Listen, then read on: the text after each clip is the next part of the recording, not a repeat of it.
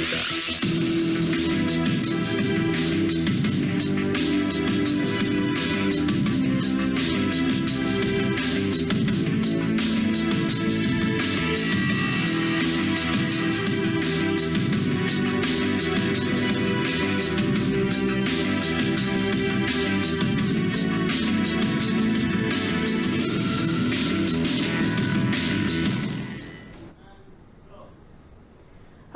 welcome to another episode of Issues and Answers, a production of the Government Information Service. I am Lisa Joseph. In this episode, we're speaking with the. Lucia Bureau of Standards, and this bureau is having an upcoming basic food safety training seminar that's taking place on the 30th of March 2022. To discuss with us the program is the head of the certification department at the Bureau of Standards. She's Dr. Xanthe Dubuison. Uh, Thank you so much for speaking with us in today's program. Thank you, Lisa, for giving us the opportunity to do so. Let's talk about the why of the seminar that's coming up before we get into the, the nitty-gritty of what the seminar is going to cover. Um, we know that we've, we've, we've increasingly seen a, a proliferation of eateries around St. Lucia.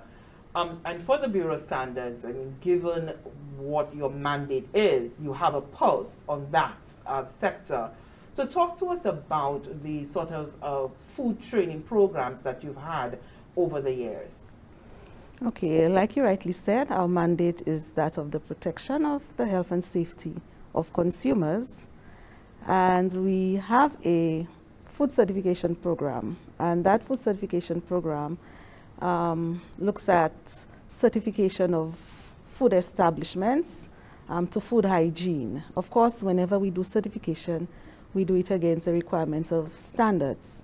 And way back in the early 2000s, while we had the program, we were administering the certification program, we recognized that a lot of persons have not received formal training in food safety, and that still continue to exist.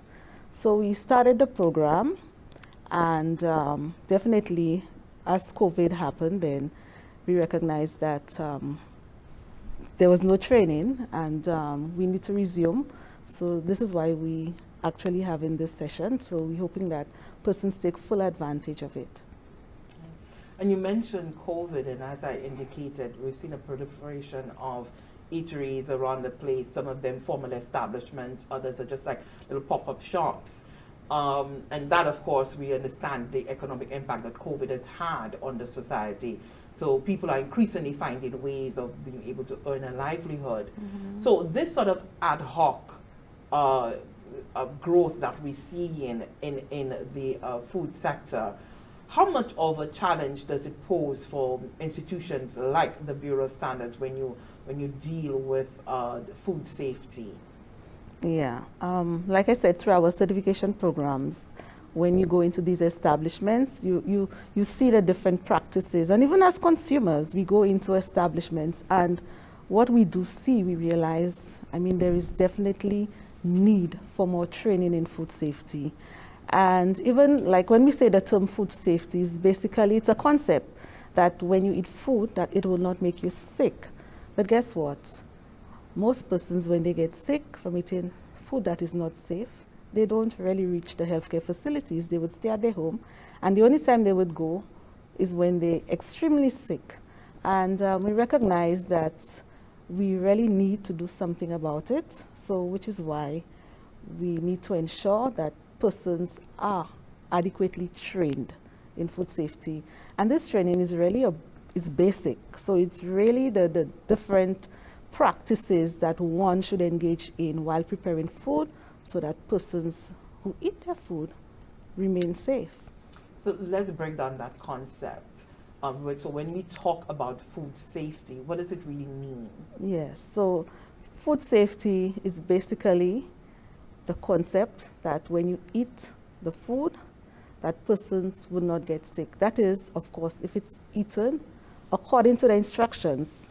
Because if, for example, you were to buy a particular drink, a beverage, and you told that that beverage has to be kept below 4 degrees Celsius. Mm -hmm. But of course, like we do, like maybe on a Saturday that we shop, we buy the products, and all throughout the day, we have the beverage in the hot car, and of course, that can make you sick.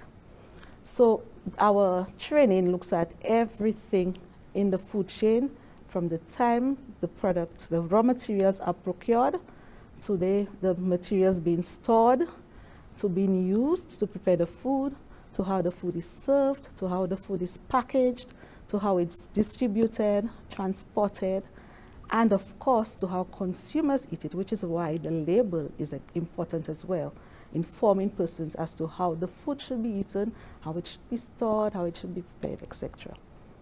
Very interesting. You know, you know, we normally simply refer to it as food poisoning. Uh, but as you rightly said, people stay home until they get critically ill. That's not the time they seek yes. the you know medical uh, attention. But so food poisoning, is as food foodborne illnesses, it's a very very serious thing. And in the aspect of being able to handle how you handle the food in the preparation stage, really um, determines how one once someone eats that food or whether they are eating contaminated food or not.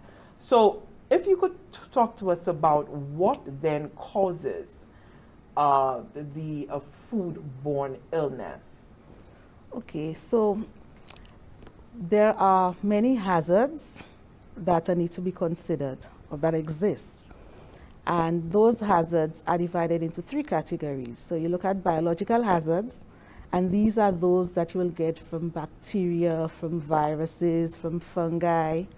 Um, there are others, chemical hazards, and chemical stems from the farm, the, uh, the, the pesticides, the fertilizers that are used. You need to ensure that the correct concentrations are applied and also that these things have withdrawal periods as well. So when it's used, then there's a period within which the product can be harvested. Um, there are other chemicals that we use while we prepare food that can also harm you, which is why they need to be applied in the right concentration. So all the food additives that we use, even some food colorings, and allergens is something also that comes under chemical hazards as well. So we need to consider allergens and we realize that the list of allergens keep increasing. So even celery too has something like celery is an allergen as well. Can you believe that? And so, and then you have other hazards like physical hazards, um, whether it be um, stones, um, wood, or anything physical that would find itself in the food. Plasters, which is why the establishments need to ensure proper hygiene when it comes to preparing food, how a plaster is used um, when persons handle food if they have an injury. What, should they be in the food or should they not, based on um, what they have? So these three um, hazards, if not controlled, can contribute to food becoming unsafe. So it can be, and when you get sick, you might have a, an infection, be it from a bacteria, it can be a chemical that make you sick, or something that will cause injury. You bite it, and there's a hard stone in the food, and then you break a tooth or something. So basically, those three hazards are what we need to control while preparing food. Right. Uh, so, in terms of the practices now, in order for you to be able to uh, keep those uh, hazards to the very, very minimum or non-existent at all, um, how do you go about ensuring that those steps are, are, are taken? Um, so keeping the place clean, separating the foods, and as you mentioned earlier, the temperature yes. and so forth. Okay, there are, the World Health Organization has actually introduced just five basic steps in preparing food.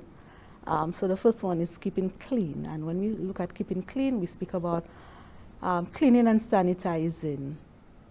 We speak about um, even you as the food handler, how do you keep clean? You need to be clean when you're dealing with food, washing of hands, and we know now with the pandemic, hand washing has become um, very important, um, not just in preparing food, but I mean throughout your daily activities.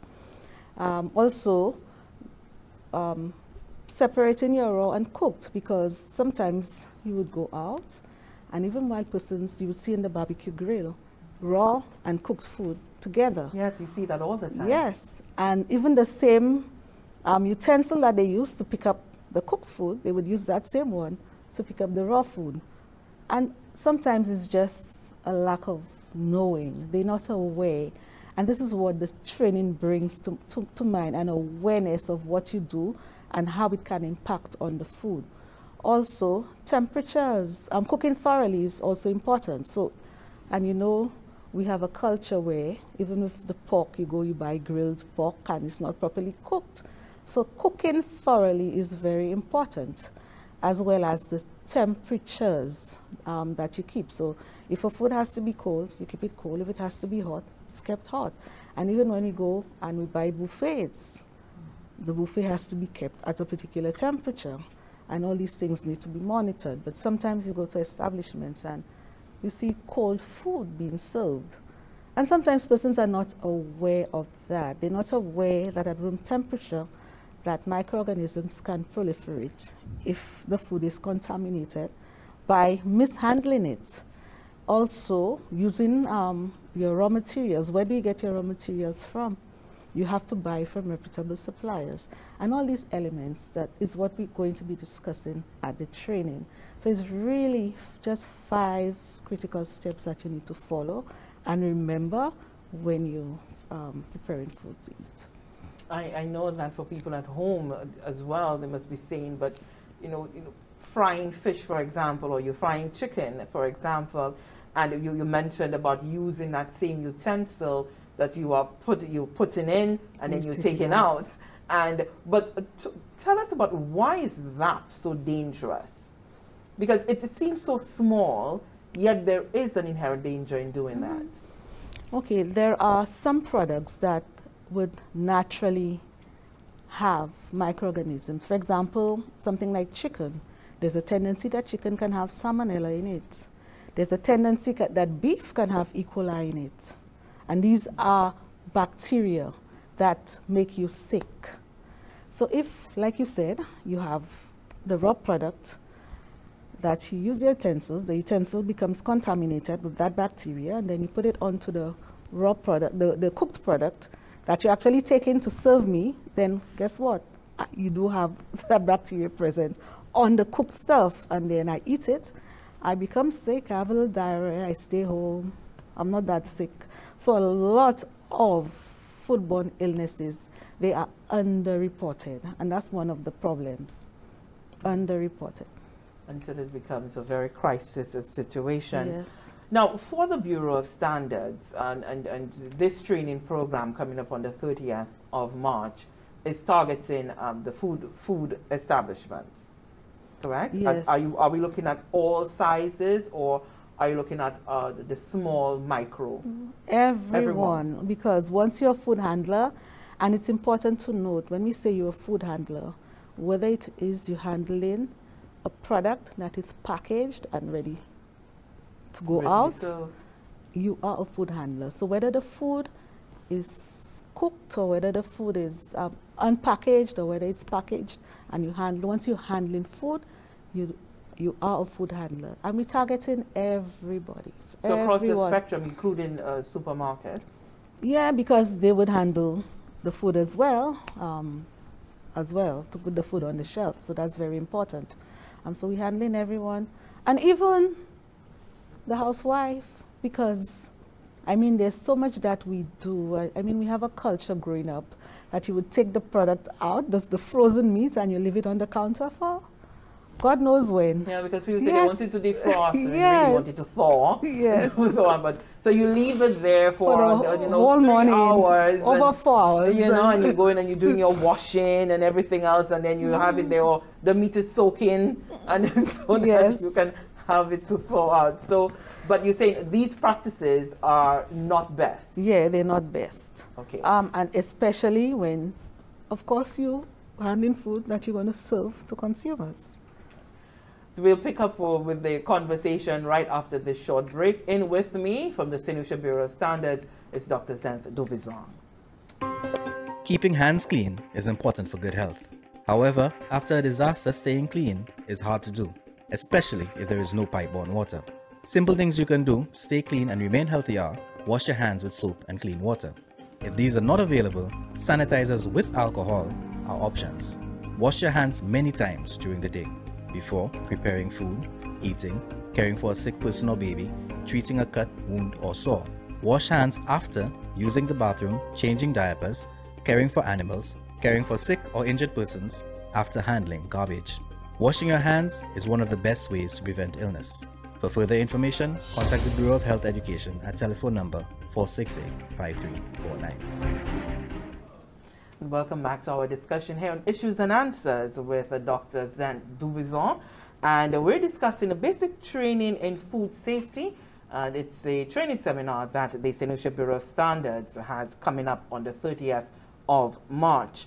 Before we went to break, we were discussing some of the practices, and even within the home setting, and uh, we were talking about the cross-contamination that can happen by using the same utensil with raw and cooked foods, especially meats and fish, and mm -hmm. etc. Um, but another practice, uh, as we were saying, is the leaving the, the, the meats out for it to thaw, to thaw out, and not healthy at all because you can create a situation where the food can become uh, contaminated. Yes, you can have the multiplication of bacteria if the food has bacteria in it. So what about the practice too and, and uh, of having the, the meat thawed, maybe you change your mind, you've left it out for a period of time, you change your mind, now you're going to put it back into the freezer. How does, is that a safe practice as well? Well, it's really not the best practice. Um, when you, which is why when you thawing food out, you're supposed to thaw it out in the refrigerator. But most times you're very impatient um, because it takes quite a while to thaw out in the refrigerator. So we just put it out on the counter. And as like we said, this is not a good practice because at room temperature is really a temperature where bacteria can multiply. And um, I mean, they grow very fast. So once that food is out and it's contaminated, then the numbers become millions in no time at all. And, and now some people believe that if they've cooked that food, the meats, it, and it's out there, uh, that um, perhaps you, you cook it perhaps late in the evening and you want to use it for the following day, that it's okay that you could simply leave it out on the stove top well, that's a very dangerous practice, leaving food out. Food should not be left out at room temperature for more than four hours. And that's a basic rule in preparing food. So if it's out more than four hours, then the food establishments would have to throw that food away because you don't know. So it's a basic rule. Okay, you don't do those things at all. Yeah. Now, for the Bureau, I, I know that the the, the handling of food is, is one component of what you do when it comes to food safety. Don't you walk us through some of the other elements that the Bureau of Standards is engaged in when it comes to food safety and certifying establishments? Um, you know, a walkthrough of, of, of in terms of what is needed to ensure that these establishments are correctly uh, practicing the, the, the, the various steps for, for food safety. Okay, so like we said, the first step is to ensure that you are trained in food safety and we realize there's a need for that based on practices that we see while we do inspections as well as even while we as consumers um, go out to various establishments. So it's very important um, that with our food certification program, it's voluntary like I said, um, but with that program, you would need to have your license to operate from the Ministry of Health, which is a regulatory requirement. And uh, once you have that, and we also want to know that you've had some formal training in food safety. So it's not just about having the health card, but with that comes training. So even if you have a health card, you need to know that if you are sick, you don't work when you're sick. So it, it, it really emphasizes, you know, the different practices that, that you need um, to engage in. So once um, you do that, um, you apply into our programs, then we it have an inspection of the establishment. So we go, we look at your process, we ask questions from the time you buy the raw materials to the time the food is prepared and to it's, it's packaged and it goes out to the consumer. So we look at all these various elements in our food certification program. And once that is okay, then you get a, a certificate of food hygiene. So it gives consumers that level of, of you know, assurance that, you know, there are certain um, practices um, those establishments engage in to ensure or to try to reduce, because sometimes you can never be 100% safe. So at least you reduce the possibility that the food is unsafe. And how do you keep the surveillance? Uh, because you know, you on the, initial uh, engagement with the establishment and so forth, yes, everything will be great. But how does the bureau now engage in the surveilling of these establishments to ensure that all is maintained all the time? Well, you're right on track with the surveillance aspect of it.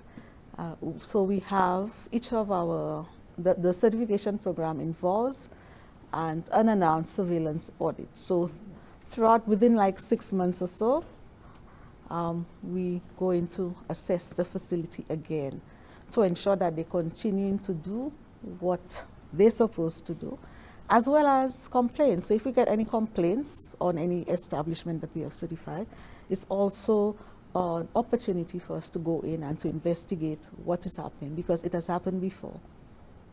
You go in and investigate to ensure that um, they actually following good practices, hygienic practices.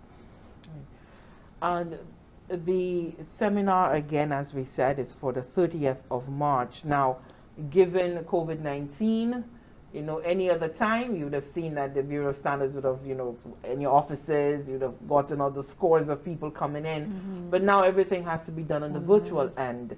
So talk to us about how you are facilitating um, that seminar virtually.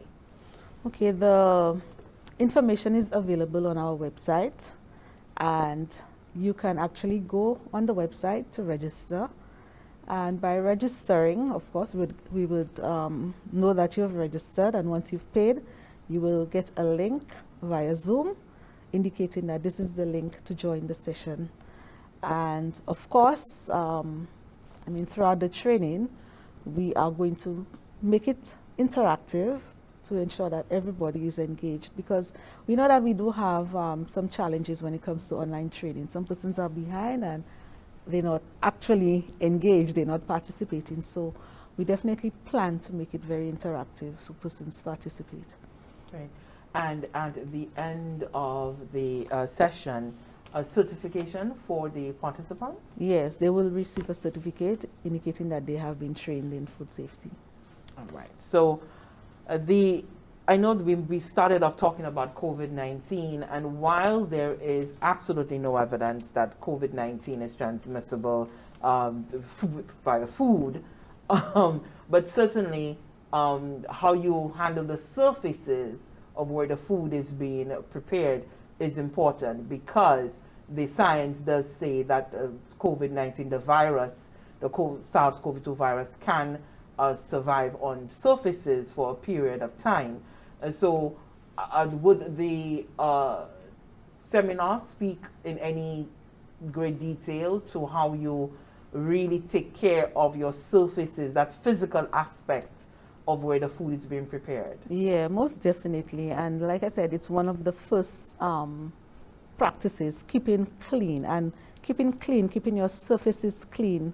And even you as the food handler, you're preparing the food, you need to ensure that your practices, if you touch any part of your body, that you need to wash hands, frequent hand washing, to ensure that when you serve me, for example, if I go to buy food and you serve me and I handle the package, my hands become contaminated if you have contaminated the product. And then, unaware, I would go touch my nose, touch my eyes, touch, put my hand in my mouth or something. And then um, that way you can become, um, I guess, sick. And, and that's what we are trying to, to avoid, avoid, at all costs. At all costs. And so the basic training in food safety, again, being undertaken by the. Lucia Bureau of Standards, it's really to provide participants with the knowledge of basic principles for the production of safe food in an effort to reduce the risk of foodborne illnesses, and as we commonly say, food poisoning. Mm -hmm. And it's being held virtually. The training includes PowerPoint presentations, discussions, and group activities, which is what you speak to about being able to engage individuals yes. so it doesn't become a monotonous session. Yes. definitely. And uh, in terms of the who would be leading um, the, the, various sessions, it's broken down. It's an entire day from 9 a.m. to 4 p.m. Um, so you have various presenters for the for that training. Yes, definitely. We have actually three presenters for the training. So, like you said, it will break the monotony of that one person speaking all the time. So we have some real competent persons to actually deliver the training. Uh, so you want to give us the, the, the, uh, the, it's now in, in sections, various headings, topic areas? Yes. To give us an idea of what the topic areas may be. Well, we've divided it into the five keys to safe food. So as we go through the keys, then we highlight all the different practices to ensure that food is kept clean. When we go to the next step, um, cook thoroughly. How do you ensure that it's cooked thoroughly? We go through all the different steps to ensure that um, we cover the five keys. So basically, it's like five segments. All right. And uh, so, interest so far in, for individuals? Have you been able to monitor the traffic coming in on the website? We've seen people uh, expressing an interest to participate? Oh, yes, most definitely. We have quite a few persons who have registered. All right. And you too can be part of that training seminar, very, very critical. Um, it's happening on Wednesday, March 30th, 2022. It's a one day training session, so it's not taking away too much of your time. Um, 9 a.m. to 4 p.m., it's happening via the Zoom platform. And uh, once you have completed the entire day and you've um, made sure that you've participated in the group activities and so forth, just to show, right, the Dr. Dubuison to show that you've now had a full comprehension of what the day's exercise was, then you'll be able to earn your certificate of participation at that time. So don't forget all food handlers, it is a call out to you for you to participate in this training program. For more information, you can contact the St. Bureau of Standards. The telephone number is 453 0049 you can also call 456-0102 or 456-0546. You can also simply log on to the. Lucia Bureau Standards website and you will get all of that information right there. And uh, the registration is happening online as well. Yes. Okay, so everything you can go on there do believe that you can also, uh, the QR code there that you can click, all of that is on the website for you to be able, easy facilitation nice. for you to participate in the basic training in food safety offered by the. Lucia Bureau of Standards. Any parting words from you, Dr. Dubuison, yeah. as we say goodbye? Yes, I also want to say if you have any problems registering online, you can call and we'll facilitate the process for you. So I invite everyone, well, food handlers, as many as possible to take advantage of this training that we're going to have. And of course, there's a discounted rate um, before March 15th. Right. And so uh, Dr. Dubuison speaks about the rate. It's not entirely costly. It is $100 of, uh, for you to uh, uh, participate. And uh, you also get, um, if you register and you pay before February 28th, you get a 30% discount, and there's a 20% discount if you pay before March 15. Uh, so, and it's a very minimal cost for something that is of such great benefit. Yes.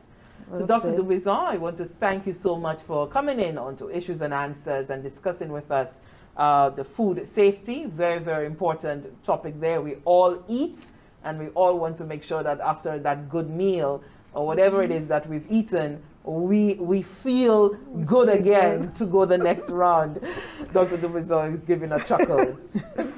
Thank you so much for watching, and we do hope that for all those of you, the food handlers out there, that you register so that you can participate in the basic training in food safety offered by the St. Bureau of Standards. I'm Lisa Joseph. See you next time.